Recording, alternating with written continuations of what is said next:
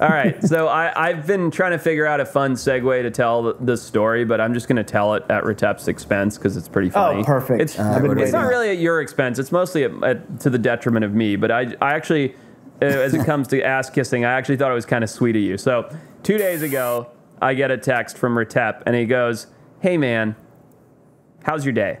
And I was like, "It's fine, thanks." And he writes back, he's like, "Cool. There's some shit about you floating around on the internet. Do you want me to share it with you, or will that ruin your day?" And I was like, "No, Peter. I think you can share it with me. I'd rather see it than not." And he goes, "Okay, super sweet, like nice." Passive text messages, like genuinely asking me, as opposed to like what Patrick would do, be like, "Look at this asshole, haha." Uh, And uh, so, so I'm I'm bracing for the worst over here. I'm like, Jesus Christ! Like, what is there? Is there is there something some like slam piece? Is someone leak, leaked some nudes? Like, what what's going on? Like, Retep Retep ferrets this stuff out. Anyway, we'll pull up the cartoon that Retep found, and turns out not that. Turns out that it was um, everybody's favorite thylacine awareness group, our buddy Neil Waters, who apparently we have absolutely detrimentally upset because he keeps getting meaner and meaner about everything on the internet. stop When I'm- thinking about us. He cannot Yeah, he stop ca- he thinking cannot. about us. When Yeah, we, I- we live actually- rent free in his head. It's great. We really do, and I'm confused by it because I was the guy who was like, "Good for you, Neil. Like, I don't think you got a thylacine, but I love what you're doing." And now he's like super upset and angry. So apparently, he created this cartoon, which, if you can see it, if you're listening on uh, iTunes, what it is is it's Neil Waters looking insanely jacked with great hair. Two things that he's not. Look how Side Right. note, riding a he's not, yeah, correct. Yeah. He's not jacked. He's obese. No, no offense. He's- not he's- that it's he- bad. I'm just a saying hefty he made gentleman. himself look Um, really jacked riding here. a very cool looking thylacine. And in front of that, and this is the part that I'm most confused about, and I think I figured it out, Retep. There's a guy, a biologist, older looking gentleman, riding a kangaroo saying run, Fawest, run with a W. I'm not sure why I'm Fawest, but maybe I have a slur. uh, Actually, um, actually, uh, there's been speculation on that, and that's a homophobic remark from some of the Ah. Australian brosners have uh, mentioned. So uh, again, fuck you, Neil. So Inter- wow. Okay. Interesting. I didn't know W's Sorry. were homophobic. Good thing my name. they isn't. also guessed. They also That's they new. also guessed that you wouldn't know that. So I didn't. I didn't. I just thought that they thought I had a speech impediment. But um, Okay. Either way, yeah. So I didn't. Couldn't. So I when I first saw this cartoon, I thought that was me. But then the cartoon caricature of the guy riding the kangaroo who says "Run, Forrest, run," I realize I'm the little guy down in the corner who's running away with the great hat and the phenomenal beard, of which I'm actually quite proud of um, in this cartoon. And Yeah. and, and so I first of all, it's just super confusing. I'm gonna let Patrick take a stab at this. I'm pretty sure it's the first time he's seen it. What do you think's Well, let going me on in this cartoon, l- Patrick? Let me read the caption too, because the caption's important. Me and Forrest Yeah, were trying to figure this it's out, and as well as some of the brosters. Yeah. The caption reads to go along with the cartoon: History can cause people to act in all manner off of, offbeat ways. In all manner of offbeat ways. In all manner of offbeat ways. we we So- got it, Retep. Thanks. So, yeah. so there's a sorry. few. I was problems. trying to understand. There's, there's, quite a few problems here. Yeah. So first of all, t- is Neil wearing uh, a COVID mask in this? I think he wants that to be his beard. Uh, so Oh, 'Cause he that's supposed to be his beard. I didn't know what it was, Oh. to be honest. I thought it might be a face mask.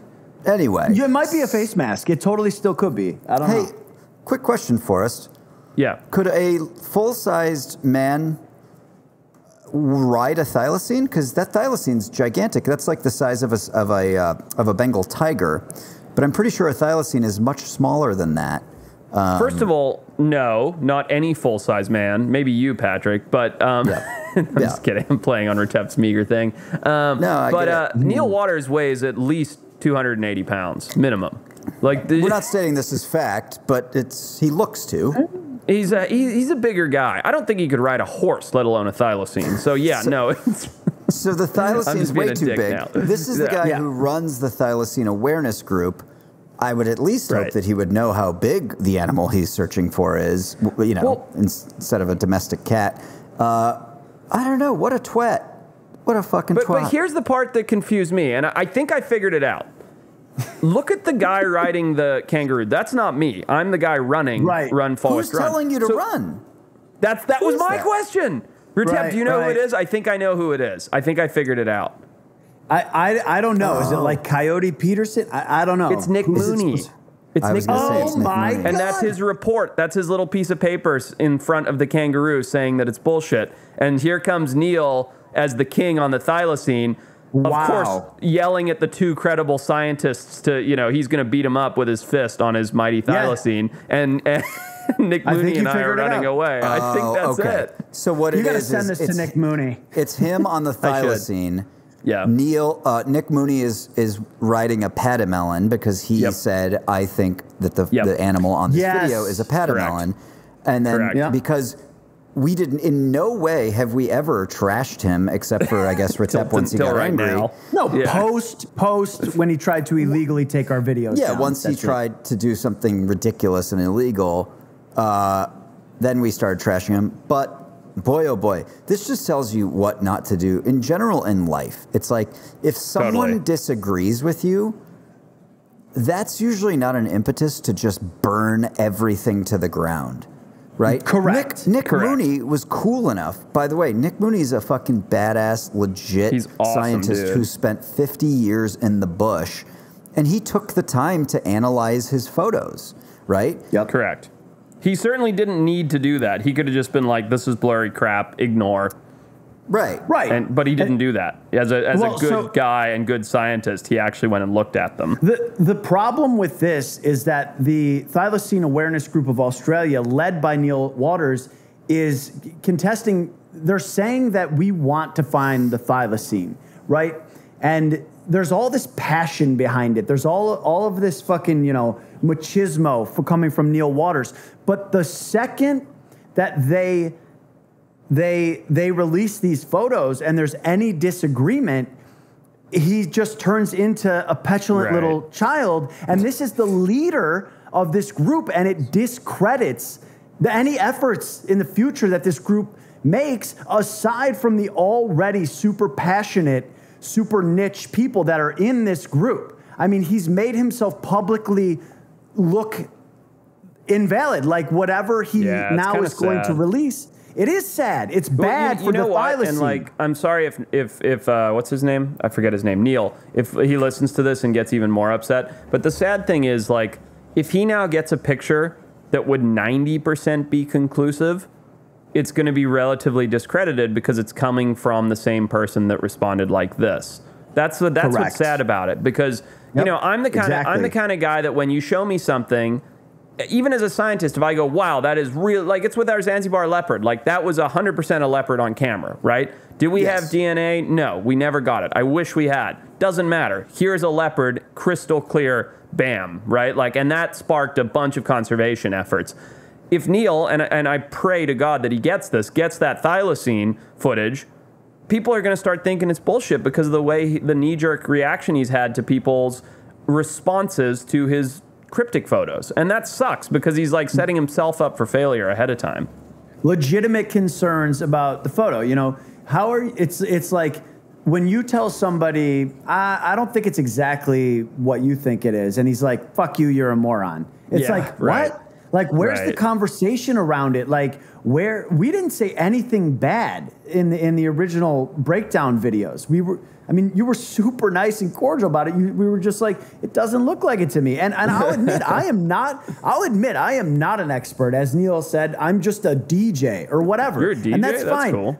That's what he called, called I his know, hat. wear a hat. Yeah. Yeah. Yeah, but but I'm like, you know, my opinion is my opinion. I'm not saying anything. It's up to the public to decide who they want to believe. And and you know, you know, you don't make yourself look credible when somebody criticizes or has objections to something you do or say, and then all you do is spew out insults at them publicly everywhere. It makes Yeah, you look a bummer. buffoonish. Yeah. Anyway, so- look, let's not harp on that. The main point of this story was two things. One is I thought the cartoon was really funny, and it, Yeah, it, it it is. took me looking at it for a while to figure out that that I think that was Nick Mooney on a pat- pademelon telling me It's to gotta run. be. Yeah, and that, uh, you're it's right, also- that's his report. Yeah. I've also learned cracked it. something new today, which is that the letter W is a, is a homophobic slur. So I'm definitely like going to run start. Forest run, like Right, run yeah. Forest one. Yeah, Yeah, shut up, like supposed Patwick. like- shut up, Patwick. I'm gonna Yeah, start. yeah, I get it. Like he's because Right, he's gay. I get it. Yeah, uh, it's new to me, but I get it. But the main part of the story was the fact that Retep so gingerly asked me,